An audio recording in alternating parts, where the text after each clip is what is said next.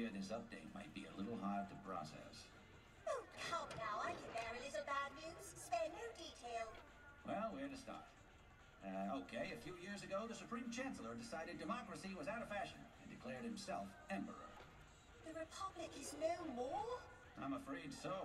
In fact, these days, you'd be hard-pressed to name a planet free from Imperial control. Calamitous indeed. Heritage, you're looking a little low on power.